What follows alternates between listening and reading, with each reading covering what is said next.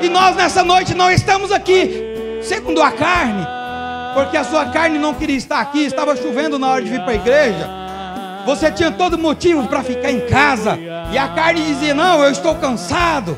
Foi um mormaço hoje, foi muito quente.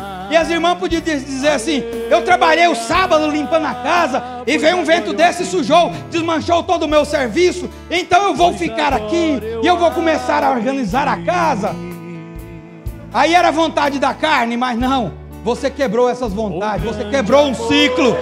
E você falou: hoje é dia de adorar. E eu vou adorar. Hoje é dia de ir para a igreja e eu vou para a igreja. Hoje é dia de comunhão e eu vou para a comunhão, porque aonde estiver o corpo, aí se juntarão as águias. Oh, meu irmão, captem a visão. Capta o que Deus está falando aqui. Sem nunca me cansar. Aí você pode dizer sim, como Paulo diz. Não como mais vivo eu. Me renovo, Cristo vive em mim.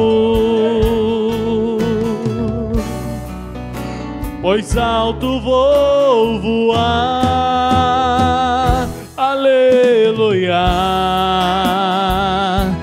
aleluia.